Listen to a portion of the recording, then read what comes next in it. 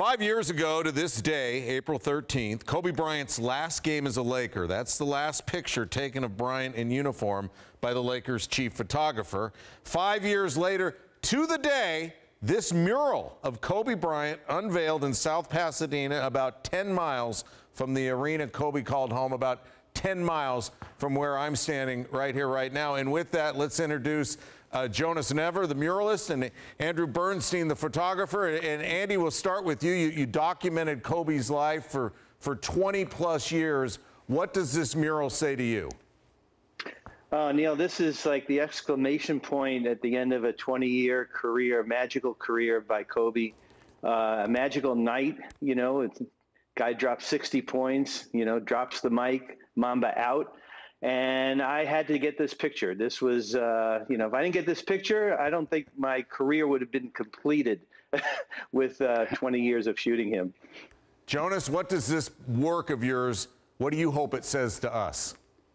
For me, it was just an absolute honor to be chosen to do it. Like Andy got amazing photos of Kobe throughout his whole career, painted Kobe a few times, but I've never actually gotten to work side by side with the photographer on a project. So this is one of those like only in LA moments. And I was just proud to be a part of it.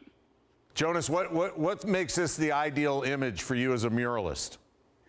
It was an amazing shot. It was one that hasn't been painted. And it was just like, you don't get to have that kind of opportunity to work alongside someone who actually knew the subject, like Kobe. Like Andy worked alongside him for you know his entire career, and I've painted him a few times. And this was a nice way for me as a muralist to have one final painting of Kobe that was of his final moment on the court as a Laker. Andy, you made the man audition. How could you?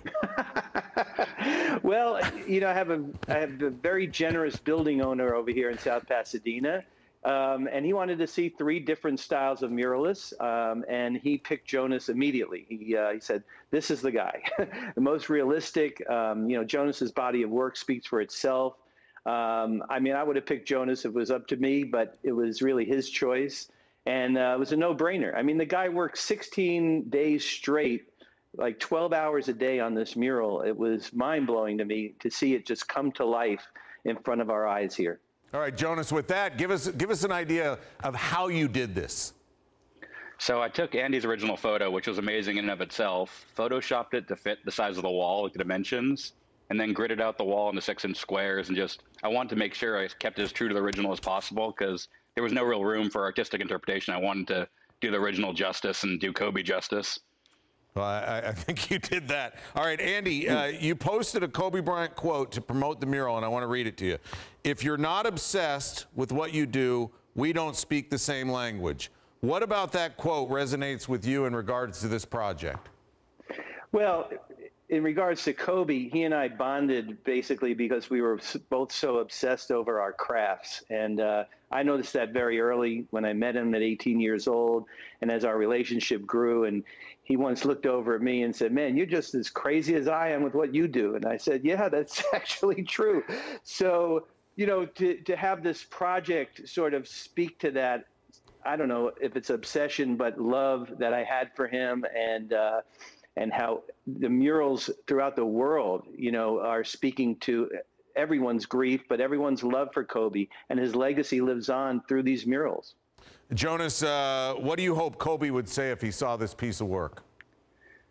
I hope that I did him justice and that he was proud of the hours I put in. I mean, everyone talks about Mamba mentality, and I can't play basketball at all, but uh, hopefully I can apply it to painting and putting long days for that. Andy, what do you what do you think Kobe would say? I think he would uh, he would nod and, and say, "Man, good job." I mean, Kobe uh, really appreciated uh, anybody whose work just stood out, and Jonas's, of course, stands out more than anyone else's. And uh, I'm just proud that that we could partner and collaborate on this. Uh, and what we say is, is, good on both of you, and, and thanks for sharing your labor of love. Um, thank you so much. Thanks, Neil.